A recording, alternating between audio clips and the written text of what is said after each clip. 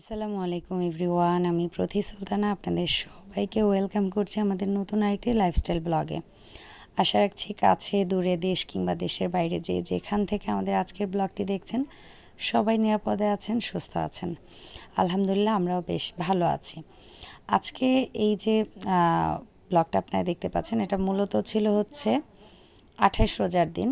তো ওই দিন হচ্ছে গিয়ে আমার ভাগ বড় ভাগ্নি হচ্ছে তাইয়াতকে রাতের বেলা মেহেদি পরিয়ে দিচ্ছে। কারণ ওরা হচ্ছে শেষের দিন মেহেদি পরবে। তো তাইয়াতের যেহেতু সময় লাগবে, ছোট মানুষ, কেমন কি টাইম লাগে, এটা তো বলা যায় না। যার কারণে হচ্ছে গিয়ে ও আগে ভাগেই তাইয়াতকে হচ্ছে রাতের বেলাতে মেহেদিটা পরিয়ে দিচ্ছে। আর এটা হচ্ছে তাইয়াতের প্রথম মেহেদি পরা। তো বেশ গর্জিয়াস করে পরিয়ে দিয়েছে আমার বড় ভাগ্নিটা। ও মাসাল্লাহ খুব ভালো মেহেদি পরাতে পারে। একেবারে ব্রাইডাল থেকে শুরু করে লাইট করে, তো সে তার ছোট বোন হলেও, তার হাতগুলো ছোট ছোট হলেও সে বেশ গর্জিয়াস করে মেহেদি পরিয়ে দিচ্ছে। আর তাই এত মোটামুটি রাতে একেবারে ডিপ স্লিপ হয় ওর। মানে একবারে যে ঘুম একটা দেয়, ওর মধ্যে আমি ড্রিম ফিডিংটা করাই। তো খুব বেশি একটা অসুবিধা হয় না, তো যার কারণে ওকে মোটামুটি মেহেদিটা দিতে পেরেছে। তারপরে একটু একটু নড়ে চড়ে গিয়েছে আলো টালো অতিরিক্ত। তো সেটা আমরা মোটামুটি একটু ম্যানেজ করে নিয়েছি। যেমন এই যে মোবাইলের আলো দিয়ে দিতে হচ্ছিল। কারণ গ্রামের দিকে হয় কি, কাঠের ঘরে না আপনি যত লাইট জ্বালাবেন না কেন, আমাদের ঢাকার বিল্ডিং ঘরের মতো বা ওই রকম ইসের মতো অতটা আলোকিত হয় না।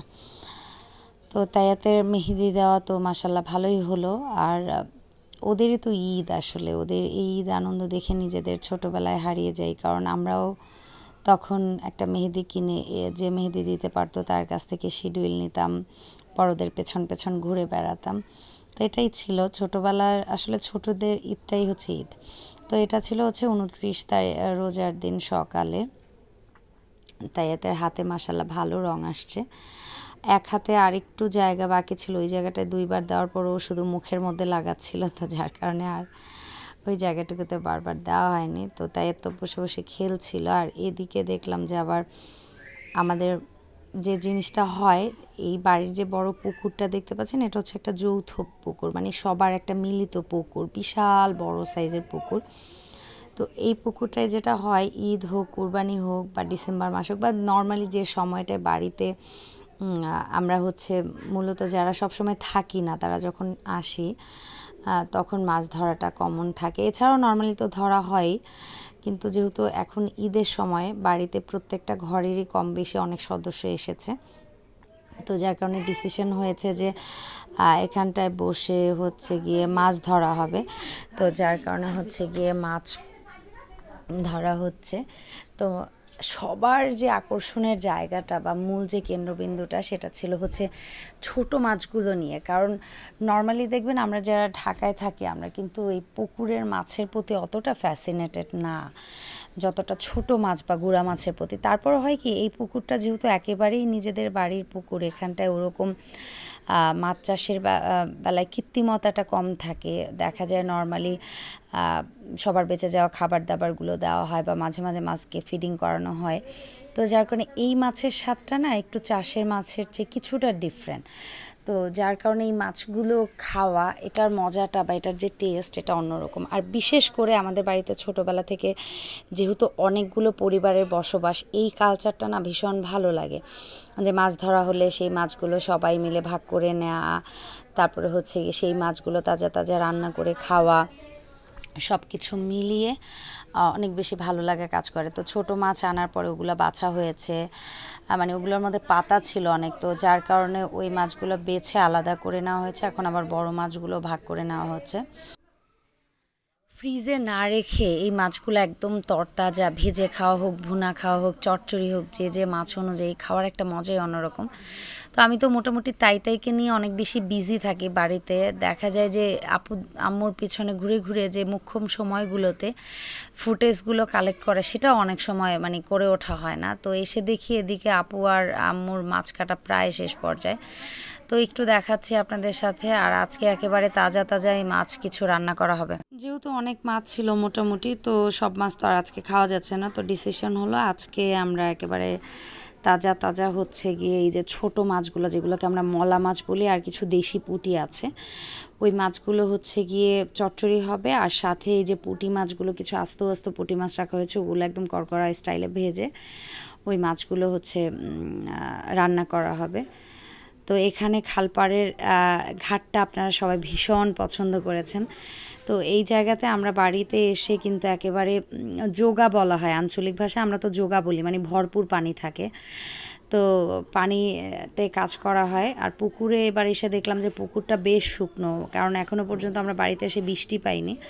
বৃষ্টি হলে হয়তো বা পুকুরে আরও পানি ভরবে আরও বেশি ভালো লাগবে। আমরা তো লিটারেলি অনেক দিন খালে গোসল করেছি। আমি তো তাইয়াতকে নিয়ে পর্যন্ত খালে গোসল করেছি, সেটা মোটামুটি ফেসবুকে লাইভ হয়েছিলাম তো। বেশ ভালো লেগেছে, আর দেখতে পারবেন সামনের ব্লগে তাই এত খালে নেমে সে সাঁতরানোর জন্য সে প্রস্তুত মানে তার বাথরুমে বসে গোসল করতে গেলে কান্নাকাটি সে খালের মধ্যে নেমে সে বেশি মজা পায় আর কি। তো আমাদের খালপাটটাকে আবারও একটু আপনাদের সাথে শেয়ার করি, কারণ আপনারা এই জায়গাটার ভিউটা সবাই অনেক বেশি পছন্দ করেছেন। আমারও লিটারেলি এই জায়গাটা খুবই ভালো লাগে। তো এখানে রান্নাবান্না চলছে প্রতিদিন, ওরকম রান্নাবান্নার মেনু বা ওগুলো শেয়ার করা হয়ে ওঠে না, কারণ বাড়িতে এসে মানে লিটারালি ঘোরাফেরা আড্ডাবাজি, ঘুমানো ইচ্ছে মতো, খাওয়া ইচ্ছে মতো। আর আমি তো একটু ছোট সো যার কারণে দেখা যায় আমার উপর গুরু একটু কম বর্তায়। আর আম্মু আর আপু বেশ গোছালো এবং তারা বেশ পরিশ্রমী এবং কাজ খুব অন টাইমে করতে পারে, যেটা আমি হয়তো বা তাদের লেভেলে অতটা প্রো এখনও হতে পারিনি। আপনাদের দৃষ্টিতে অনেকের কাছে আমি প্রো হলেও তাদের কাজের সাথে আমার কাজ কম্পেয়ার করতে গেলে আমি একেবারেই একটা মানে কি বলব যে ইমেচুয়ার লেভেলের তাহলে বোঝেন তারা কতটুকু কাজ পারে আর কি। তো এদিকটায় আপু মাছগুলো করকরা করে ভেজেছে, আমরা ওখান থেকে দুই তিনটা মাছ অলরেডি খেয়েও ফেলেছি। তো আপু রান্না করছে, আর এদিকটায় আমি গোসল টোসল করে এখন তাইয়াতের আমার কিছু কাপড় চোপড় নিয়ে এসেছি খালের পাড়ে। আর ওই দিন আমি ভিডিওতে বলেছিলাম যে ওই মিক্সিটা দেখে ইন্সপায়ার হয়ে আমি হচ্ছে কি আরেকটা মিক্সি বানিয়েছি। সো আমার সেই মিক্সিটা হচ্ছে এটা এটা আমি নিজের হাতে বানিয়েছি। আর এটার কালার কম্বিনেশনটাও ভীষণ সুন্দর, বেশ ভালোই লাগে।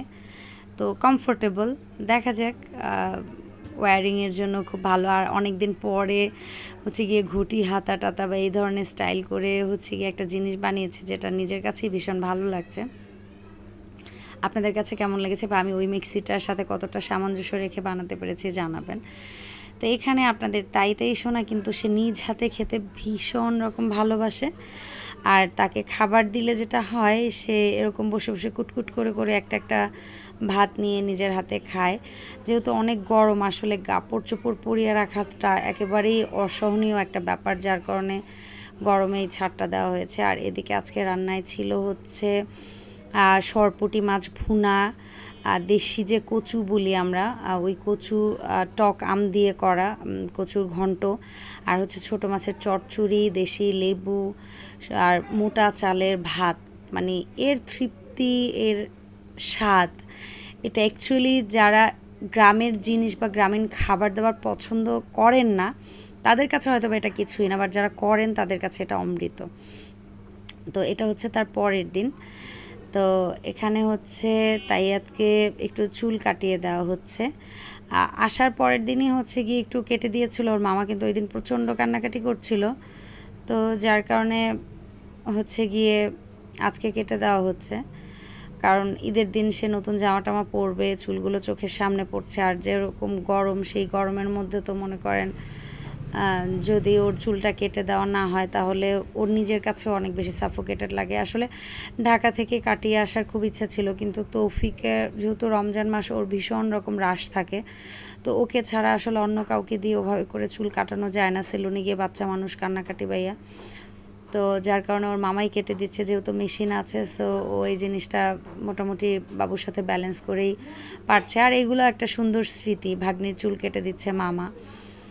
আর তাই আজকে বিজি রাখছি। এই যে ব্যাপারটা, এটা সেলুনে বসে হয় না। কারণ ওখানকার একে তো অপরিচিত মানুষ, অপরিচিত এনভায়রনমেন্ট যার কারণে তৌফিক বাসায় এসে যখন কাটায়, আমাদের কোলে বসে থাকেও খুব বেশি একটা কান্নাকাটি করে না। ওর মতো সময় কাটায় আর তৌফিক তৌফিকের মতো করে চুল কাটে, যার কারণে নিরিবিলি থাকতে পারে আর কি। তো তাইতে সোনার তো চুল কাটা হয়ে যাচ্ছে। আর তার খেলনাপাতি আনতে পারিনি ব্যাগেজ ভরা হচ্ছে গিয়ে ড্রেস ট্রেস সমস্ত জিনিসপত্র ছিল। তো যার কারণে হচ্ছে বাড়িতে আসার পরে তার মামা তার জন্য খেলনার সেট এনেছে, যেন তার ভাগ্নি খেলতে পারে। কিন্তু তাইয়াতের আবার ব্যাপার কি যে ওই সমস্ত খেলনা দিয়ে খেলাটা এখনও ঠিক ওরকম বোঝে না, ও পছন্দও করে না। ওর কাছে খেলনা হচ্ছে ওর ক্রিম, লোশন, ওর হচ্ছে গিয়ে ফিডার বা উল্টাপাল্টা জিনিস। তো মানে যেটা হচ্ছে কি আপনার ঘরের জিনিস, সেটা দিয়ে ও খেলতে ভীষণ ভালোবাসে। আর এই হচ্ছে আমাদের কুটি। কুটি হচ্ছে গিয়ে সে বাবুর খেলনার কাছে বসে পাহারা দিচ্ছে। সে এত কিউট হয়েছে মাসাল্লাহ কি বলব? আর এদিকে এটা হচ্ছে চাঁদ রাতে তো তারা সবাই মেহেদি লাগাচ্ছে, একের পর এক এক একজন এসে এসে লাগিয়ে যাচ্ছে। তো যে মেহেদি পরিয়ে দিচ্ছে সবাইকে, সে হচ্ছে আগে নিজের হাতে মেহেদিটা লাগিয়ে নিয়েছে, কারণ পরবর্তীতে দেখা যায় নিজের মেহেদি পরারই সময় পায় না। তো অনেক গর্জিয়াস করে লাগিয়েছে। এখন হচ্ছে ঈশামণিকে লাগিয়ে দিচ্ছে। তারপরে এক এক করে বাড়ির অন্যান্য যে ভাতিজা সরি ভাতিজা কি? হ্যাঁ ভাতিজাদেরকেও লাগিয়ে দিয়েছে, যেগুলো ছোট, ওরা তো মেহেদি পড়তে চায়। আর ভাতিজি, ভাগিনী এদেরকে সব লাগিয়ে দিচ্ছে।